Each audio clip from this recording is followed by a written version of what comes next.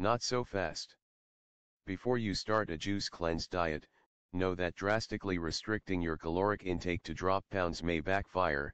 In a 2010 study, women placed on a 1,200 calorie diet for three weeks had elevated levels of cortisol, our primary stress hormone.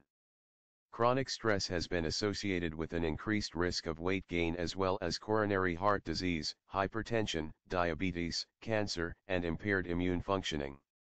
Make a structured plan to lose weight during pregnancy.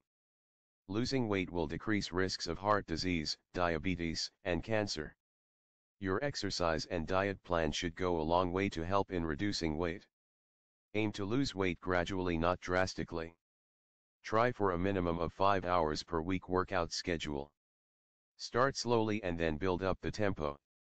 This holds a special place in health tips for women. Subscribe us to know more health tips and home remedies.